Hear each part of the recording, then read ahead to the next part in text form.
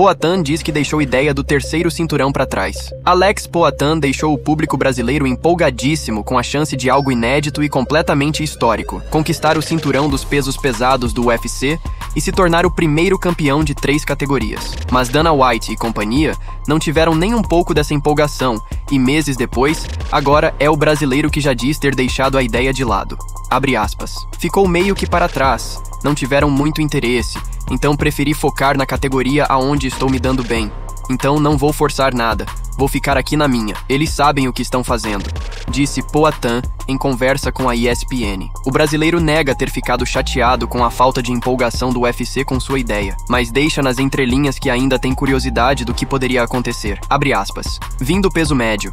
Estava um pouco difícil para perder peso, então tinha que subir. Mas agora com o peso pesado é um pouquinho mais forçado, então eu não sei se também é muito bom para mim. Muitas pessoas têm opinião, Falam que eu seria campeão, que tenho força para isso. E eu acredito que eu tenho força para isso. Tenho altura para isso, tenho técnica para isso. Mas vamos ver o que acontece, disse Poatan. Se o UFC não se empolgou em deixá-lo subir de categoria, Poatan também não se animou tanto em escolher um próximo adversário no meio pesado, apesar de ter falado nos últimos dias o nome de Magomed Ankalaev. Sinceramente, não tenho ideia do que pode acontecer depois deste final de semana. O que o UFC decidir, eu vou estar dentro. E claro, ver o que é bom para mim também. Mas a minha categoria, não tenho o que escolher, não tenho o que falar. Quem quiser colocar, pode colocar que eu vou estar preparado.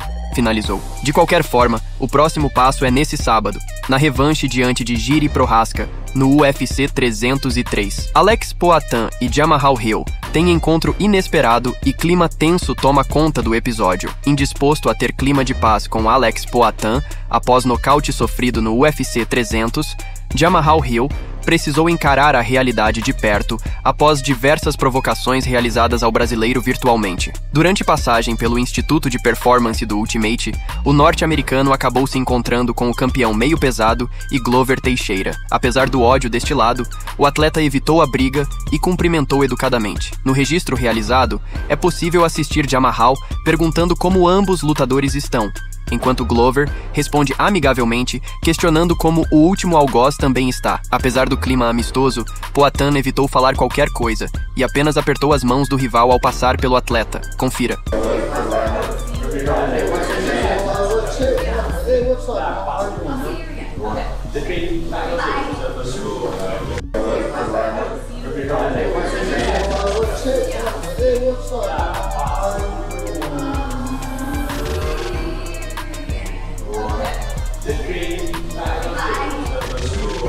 Pronto para tudo? Poatan realiza treinos de grappling e aplica finalizações no chão. Principal estrela brasileira dentro do Ultimate nos dias atuais, Alex Poatan será o responsável por liderar o UFC 303, que acontece neste sábado em Las Vegas. O paulista vai colocar seu cinturão meio pesado em disputa pela segunda vez, agora em revanche contra Jiri Prohaska, a quem derrotou em novembro do ano passado, no main event do UFC 295 ocasião na qual conquistou o título dos 93. Especialista na luta em pé e exímio nocauteador, Alex Poatan pode vir para o duelo com novas armas a serem apresentadas. Isso porque tem sido cada vez mais comum acompanhar vídeos em que o paulista busca aperfeiçoar nos treinamentos suas habilidades na luta de chão, seja com entradas de queda ou até mesmo no próprio grappling, com tentativas de finalização, passagens de guarda e outras técnicas. Um vídeo divulgado recentemente no canal de Alex Poatan no YouTube mostra o campeão meio pesado em um treino pesado de grappling com alguns dos seus companheiros de equipe. Supervisionado pelos treinadores Plínio Cruz e Glover Teixeira,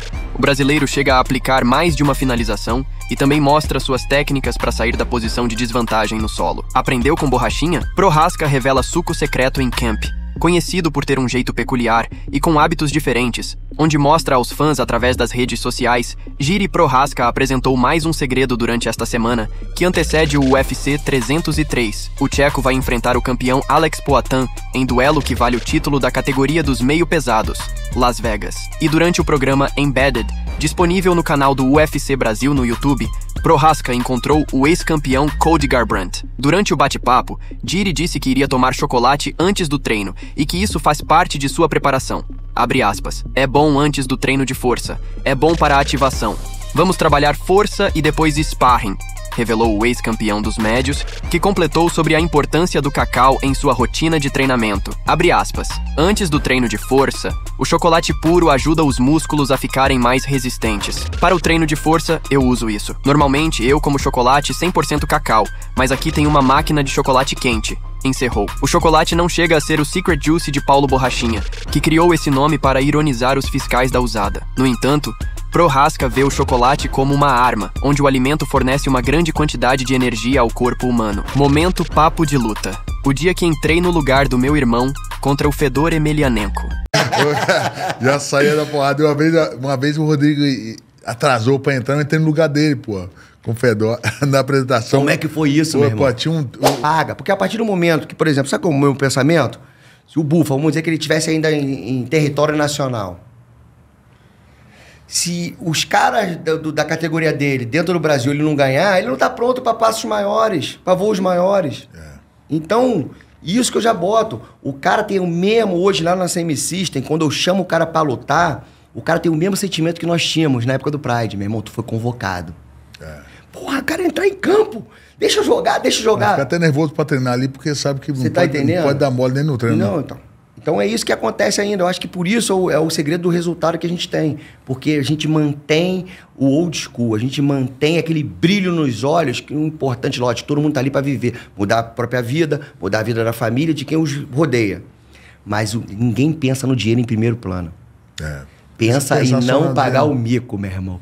Pensa aí, meu irmão, na honra, a academia, a bandeira. Que é o que ele fazia e nos E é fez. E é o que. É, é o que fez a galera toda, Vanderlei, Minotauro, desses caras todos, Arona, todo mundo lutar pela honra. É lógico. Pra defender cara, sua Tem coisa bandeira. mais importante, irmão.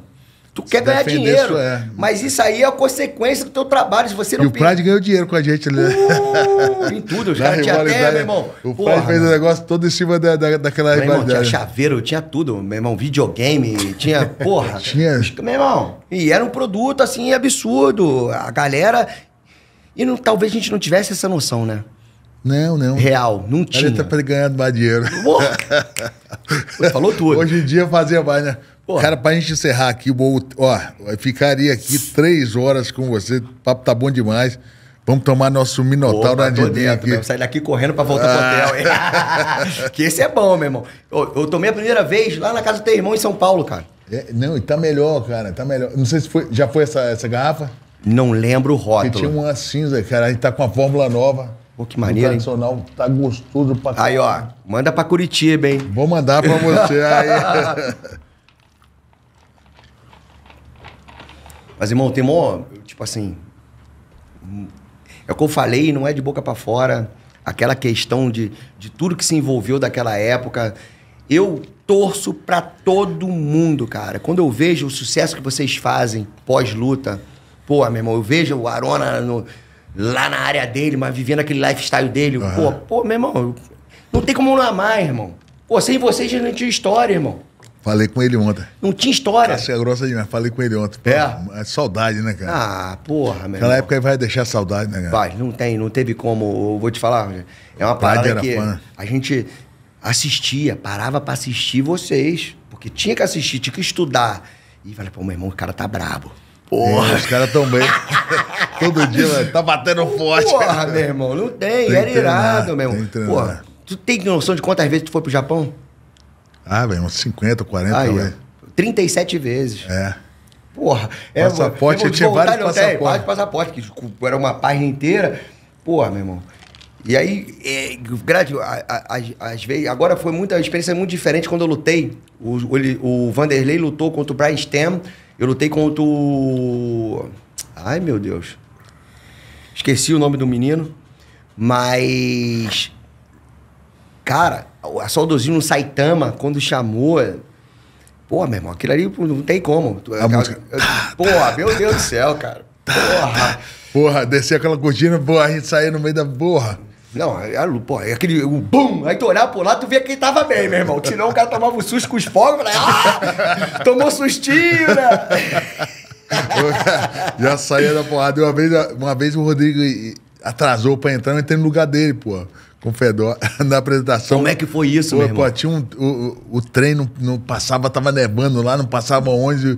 E a galera E apresentação. tu já tava lá. E eu tava lá, nego, se apresenta no lugar do Rodrigo, eu entrei e me apresentei. Bom, desci no ringue. E caralho.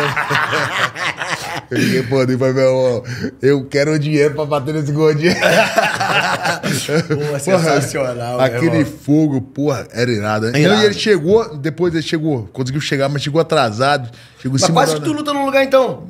Não, não ia lutar, porque nego vê, tinha cicatriz aqui, mas eu, eu tava brincando com ele. Bem logo eu vou, vou sair da Porra. porrada que cara, aquele que a gente tava falando, não sei se a gente falou no ar ou, ou em off, aquela vez que pô, o, o, o Vanderlei lutou com o Quinton, que a Glória Maria foi, que o, que, o- que o, que o, o Rodrigo lutou contra o Crocop, meu irmão, até- isso é uma coisa que eu tô falando agora. Nós estávamos assistindo no vestiário, prestes a entrar, quando o, o Rodrigo pega no armlock, ninguém, todo mundo, ah! e todo mundo ficou sem graça assim, ó, porque tinha rivalidade, mas ninguém conseguiu não controlar isso aí, que porra, meu irmão, não é, como te Torcida, falo, a pô, gente, torcida. a gente honrava até mesmo no caso que eram os inimigos, mas, pô, meu irmão, só a gente podia ganhar, os outros não, meu irmão.